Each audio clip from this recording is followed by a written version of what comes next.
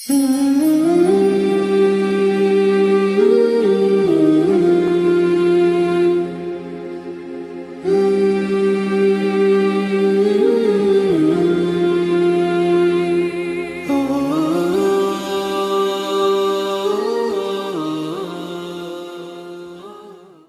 ابن كثير. ثم عاد إلى بغداد وفي صحبته خواج نصير الدين الطوسي والوزير ابن العلقمي وغيرهما. والخليفة تحت الحوطة والمصادرة. الآن على ما قالوا قالوا عزل الخليفة مع بعض الأنفس مع سبعة عشر نفسا فقط والآخرون عزلوا فقتل الجميع. لنسلم بهذا الأمر. الآن لماذا عاد إلى بغداد الخليفة؟ وفي صحبته فلان وفلان وفلان. هل رجع باختياره بطلبه لاحظ لا يذكر هذه القضية لأنه تدليس لأنه مدلس. إذا الآن لا يقول لكم بأن ال... بأن هناك أمر هذا الخليفة بأن يرجع إلى القصر ويأتي بكل المخزونات بكل الأموال بكل الجواهر بكل الأعيان بكل ما يملك. بل في بعض المصادر التاريخية تقول بأن هالاكا ذهب معه إلى قصر الخلافة. دخل معه إلى قصر الخلافة وشاهد بعينه وحضر بنفسه كيف تفتح الغرف السرية الممتلئة بالكنوز باللآلي والمجوهرات والذهب الأبيض والأصفر والتحف والأعيان الثمينة والكنوز العجيبة.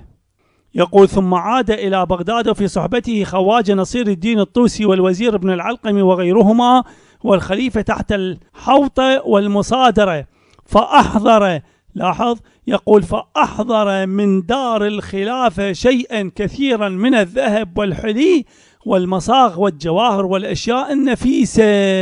أين أحضرها؟ إلى هؤلاء في ذلة وهوان وقد أشار أولئك الملأ من الرافضة وغيرهم من المنافقين على هلاك ألا يصالح الخليفة.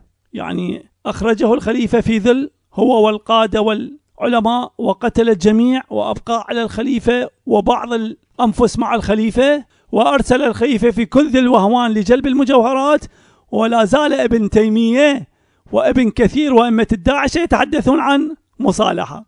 حدث العاقل بما لا يعقل. حدث الإنسان بما لا يعقل. فإن صدق فهو تيمي فهو داعشي فهو تكفيري فهو ابن كثيري. أئمة الضلالة أئمة التدليس ليس عندهم إلا الطائفية والتعصب والإرهاب والقتل ليس أكثر من هذا والتدليس. لاحظ في كل هذا في كل ما حصل ويقول يوجد مصالحة ويتصور وجود مصالحة ويغرر ويكذب ويدلس بأنه توجد مصالحة وابن العلقمي هو الذي أفشل هذه المصالحة هو الذي أبطل هذه المصالحة. مع أئمة التيمية هؤلاء شياطين هؤلاء أبالسة لا كلام لنا معهم. لكن مع باقي الناس مع من عنده العقل مع من يعتبر نفسه من بني الإنسان من بني البشر كيف يصدق؟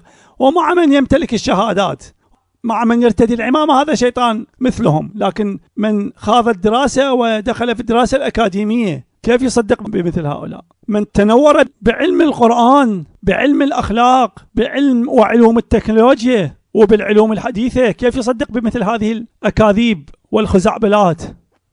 يقول وقد أشار أولئك الملأ من الرافضة وغيرهم من المنافقين على هلاك لا يصالح الخليفة وقال الوزير متى وقع الصلح على المناصفة لا يستمر هذا إلا عاما أو عامين ثم يعود الأمر إلى ما كان عليه قبل ذلك وحسنوا له قتل الخليفة فلما عاد الخليفة إلى السلطان هلاك أمر بقتله.